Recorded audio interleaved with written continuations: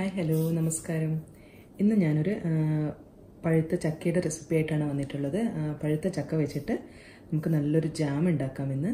ഇപ്പം ഇതുപോലെ പഴുത്ത ചക്ക ഇതുപോലെ കഴിക്കാൻ ഇഷ്ടമില്ലാത്ത കുട്ടിക്കാണെങ്കിൽ കുട്ടിക്കോ വലിയ ആൾക്കാർക്കോ ആർക്കാണേലും ജാം ഉണ്ടാക്കിയിട്ട് കഴിയുമ്പം ചിലപ്പോൾ ഇഷ്ടപ്പെട്ടെന്ന് വരാം. അപ്പോൾ നമുക്കിത് അതിന് വേണ്ടിയിട്ട് ഞാനൊരു എണ്ണീട്ട് തന്നെ ഒരു ഒരു പന്ത്രണ്ട് പതിമൂന്ന് ഇതേപോലത്തെ ചക്കച്ചുളയുണ്ടാവും അത് ഇതുപോലെ ഞാൻ കട്ട് ചെയ്ത് വെച്ചിട്ടുണ്ട്. നമ്മളത് ഇതുപോലെ പക്ഷെ നമ്മളത് വേവിച്ച് കൊടുക്കുക അപ്പം എങ്ങനെ വലിയ പീസായാലും കുഴപ്പമൊന്നുമില്ല. ഇങ്ങനെ എടുത്തിട്ടുണ്ട്.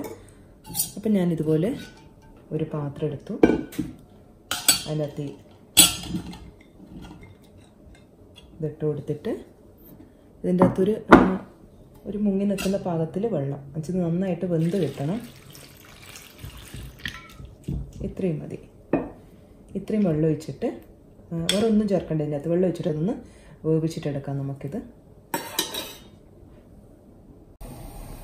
ഇപ്പം ഞാൻ ചക്ക അവിടെ വേവിക്കാൻ മാറ്റി വെച്ച് കൊടുത്തിട്ടുണ്ട്. അപ്പോൾ അതിനകത്ത് നമുക്ക് ഷുഗർ അല്ല നമ്മൾ വെല്ലാണ് ഇട്ട് കൊടുക്കുന്നത്. ഞാൻ ഇതുപോലെ വെല്ല ആണി രണ്ടാണി വെല്ലം എടുത്തിട്ടുണ്ട്. അപ്പം അതിന്റെ അകത്ത് നമുക്കിതൊന്ന് മെൽറ്റ് ചെയ്തിട്ട് എടുക്കണം അപ്പം അതിന് വേണ്ടിയിട്ട് ഞാനൊരു അരക്കപ്പോളം വെള്ളം ഒഴിച്ചു കൊടുത്തിട്ടുണ്ട്.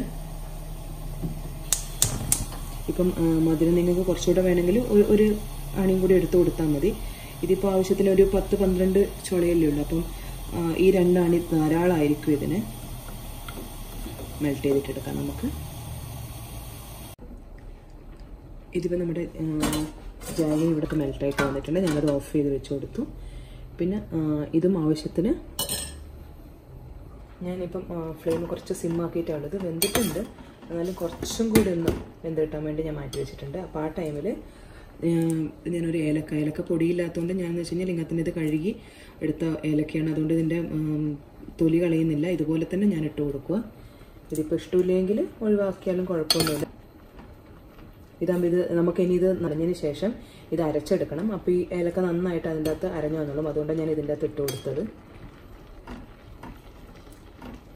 ഇതിപ്പോൾ ആവശ്യത്തിന് വെന്തിട്ടുണ്ട് ഇത്.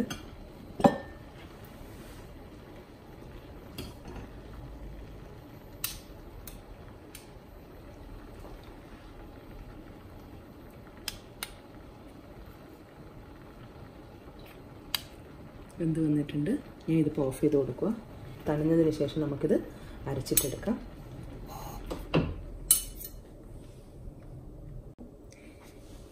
ഇനിയിപ്പോൾ ഒരു പാൻ അടുപ്പത്ത് വെച്ചിട്ട് ഞാൻ ഗ്യാസ് ഓൺ ചെയ്ത് കൊടുത്തില്ല. ഇത് നന്നായിട്ട് അരിച്ചിട്ട് നമുക്ക് ഇതിന്റെ അകത്ത് ഒഴിച്ചു കൊടുക്കാം. ഞാൻ കുറച്ച് മാറ്റി വെക്കുന്നുണ്ട്. ഇനിയിപ്പം മധുരം കൂടുതലാണേ കൂടുതൽ കുറവാണെങ്കിൽ ഒഴിച്ചു കൊടുക്കാം. കൂടിപ്പോയി കഴിഞ്ഞ് കഴിഞ്ഞാൽ അത്ര ടേസ്റ്റ് ഉണ്ടാവില്ല. അപ്പോൾ അതുകൊണ്ട് ഞാൻ കുറച്ച് മാറ്റി വെച്ച് കൊടുത്തു. ഇനിയിപ്പോൾ നമുക്ക് ഗ്യാസ് ഓൺ ചെയ്ത് കൊടുക്കാം. ഫ്ലെയിം ഒരു മീഡിയത്തിൽ വെച്ച് കൊടുത്താൽ മതി. ഞങ്ങൾ ചത്ത് അരച്ചെടുത്തിട്ടുണ്ട്. അത് നമുക്ക് ഇതിന്റെ അകത്ത് ഒഴിച്ചു കൊടുക്കാം.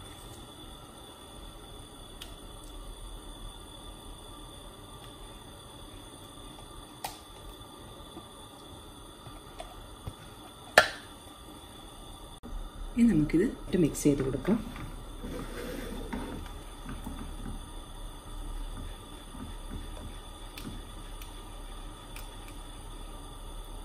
ഇത് നന്നായിട്ട് മിക്സ് ആയതിനു ശേഷം ഇത് കുറച്ചൊന്ന് കഴിച്ച് നോക്കിയിട്ട് നമുക്ക് മധുരം കുറവാണെങ്കിൽ നമുക്കത് ഒഴിച്ചു കൊടുക്കാം. ഇതിപ്പോൾ എനിക്ക് മധുരം പാകമായിട്ടുണ്ട്. ഞാനിപ്പോൾ ഇതിന്റെ അകത്ത് ഒരു പിഞ്ച് ഉപ്പും കൂടി ഇട്ട് കൊടുക്കുന്നുണ്ട്. മിക്സ് ചെയ്തെടുക്കാം.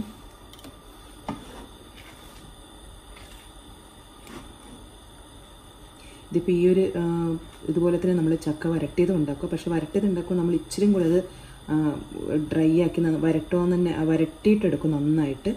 ജാമിനാകുമ്പോൾ നമുക്ക് അത്രയ്ക്ക് ഡ്രൈ ആയിട്ടുള്ള കൺസിസ്റ്റൻസി വേണ്ട. ഇതിപ്പോൾ തിളച്ച് വന്നിട്ടുണ്ട്. ഇപ്പം ഞാൻ ഫ്ലെയിം ഒരു മീഡിയം ലോയിൽ അങ്ങനെ ആക്കി കൊടുത്തു. അല്ലെങ്കിൽ എന്നിട്ട് ഈ സൈഡിൽ നിന്നൊക്കെ ഇങ്ങനെ ആക്കണം. അല്ലെങ്കിൽ സൈഡ് ചിലപ്പോൾ അങ്ങ് അടിയിൽ പിടിച്ചു പോവും. നമുക്ക് കുറച്ചും കൂടെ ഡ്രൈ ആക്കി എടുക്കാം. ഇതിപ്പോൾ ഇത് കുറച്ചും കൂടെ ഡ്രൈ ഞാനൊരു ഒരു എട്ട് മിനിറ്റും കൂടെ ഞാൻ ഇത് ഒന്ന് ഇതുപോലെ ഇളക്കി കൊടുത്തു. ഇപ്പം നന്നായിട്ട് എന്ത് വെച്ചാൽ ഇതിങ്ങനെ തെറിച്ച് നമ്മൾ കൈമിൽ തെറിച്ച് വരും. ഇത് നമുക്ക് കുറച്ചും കൂടെ ഡ്രൈ ആക്കി എടുക്കാനുണ്ട്. അപ്പോൾ എന്ന് വെച്ചാൽ തിരി സിമ്മാക്കിയിട്ട് ലോ ആക്കി കൊടുക്കണം. എന്നിട്ട് ഇതിങ്ങനെ അടച്ചു വെച്ച് കൊടുത്താൽ മതി. പിന്നെ ഒരു രണ്ട് മിനിറ്റ് കഴിഞ്ഞിട്ട് നമുക്ക് ഇടയ്ക്കിടെ ഒന്ന് ഇളക്കി കൊടുക്കണം. രണ്ട് മിനിറ്റ് കഴിഞ്ഞിട്ട് കുറച്ചും കൂടെ ഇളക്കി കൊടുക്കാം. പിന്നെ അങ്ങനെ അങ്ങനെ നമുക്ക് ഡ്രൈ ആക്കിയിട്ടെടുക്കാം പിന്നെ ഒരു പതിമൂന്ന് മിനിറ്റും കൂടെ ഞാൻ എടുത്തു അത് ഇപ്പം നമ്മുടെ കറക്റ്റ് കൺസിസ്റ്റൻസി കിട്ടിയിട്ടുണ്ട്. ഇതിപ്പം കൺസിസ്റ്റൻസി എങ്ങനെയാണെന്ന് വെച്ച് കഴിഞ്ഞാൽ സ്പൂണിൽ എടുത്തു കഴിഞ്ഞാൽ ഈ ഒരു രൂപത്തിൽ നമ്മൾ ജാമൊക്കെ എടുക്കുമ്പോൾ ഈ ഒരു പരുവത്തിലല്ലേ ഉണ്ടാവുക? ഈ ഒരു രൂപത്തിൽ ഇത് വെച്ചുകൊണ്ട് വെക്കുമ്പോൾ കുറച്ചുകൂടെ കട്ടിയാവും. അപ്പം നമുക്ക് ഈ ഒരു ടൈമിൽ നമുക്കിതൊന്ന് ഓഫ് ചെയ്യാം. ഇത് നന്നായിട്ട് ഇങ്ങനെ മിക്സ് ചെയ്യുമ്പോൾ നമ്മൾ നോൺ സ്റ്റിക്ക് പാൻ എടുക്കുന്നതാണ് കൂടുതൽ നല്ലത്. മറ്റേ നമ്മുടെ സ്റ്റീലിന്റെയോ അങ്ങനെയൊക്കെ ആണെങ്കിൽ അടിയിൽ പിടിച്ചിട്ട് നമുക്ക് ഇതുപോലെ മിക്സ് ചെയ്തെടുക്കാൻ പറ്റില്ല. ഇത് തണിഞ്ഞതിന് ശേഷം നമുക്കൊരു ഗ്ലാസിന്റെ ജാറിൽ നമുക്ക് എടുത്തിട്ട് സൂക്ഷിച്ച് വെക്കാം. ഇപ്പം ഒന്നും പ്രിസർവേറ്റീവ്സ് ഒന്നും ചേർക്കാത്തതുകൊണ്ട് പുറത്ത് വെച്ച് കഴിഞ്ഞാൽ പൂപ്പിൽ വരും. അപ്പം നമുക്ക് ഫ്രിഡ്ജിൽ വെച്ച് കൊടുക്കാം. ഇന്ന് തന്നെ ഇപ്പം എടുത്തു വെക്കണമെന്നൊന്നുമില്ല ഉണ്ടാക്കി അന്ന് തന്നെ എടുത്തു വെക്കണമെന്നൊന്നുമില്ല ഒരു ദിവസമൊക്കെ കഴിഞ്ഞിട്ട് വെച്ച് കഴിഞ്ഞാലും പ്രശ്നമൊന്നുമില്ല.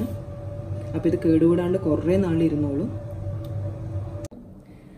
അപ്പോൾ നമ്മുടെ ചക്കജാമം ചക്ക ജാമം തണിഞ്ഞ് വന്നിട്ടുണ്ട്.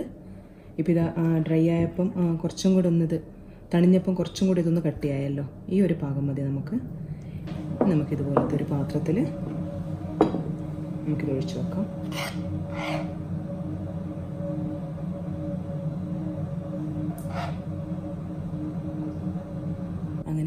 ചക്ക കൊണ്ടുള്ള ജാം ഇവിടെ റെഡി ആയിട്ടുണ്ട്.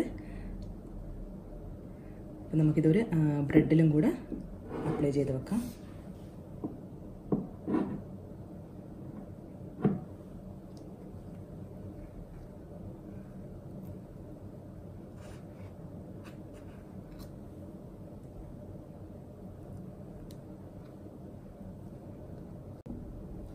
അപ്പം അങ്ങനെ നമ്മുടെ ജാമും റെഡിയായി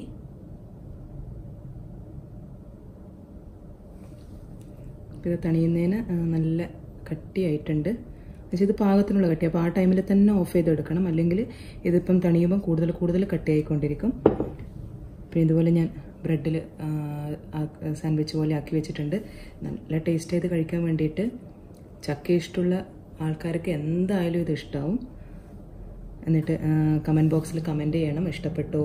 ഇത് ഒരു പ്രാവശ്യം ഒന്ന് ട്രൈ ചെയ്ത് നോക്കണം. അപ്പോൾ എന്തായാലും ഇത് ഇഷ്ടമാവും എല്ലാവർക്കും. Thank you.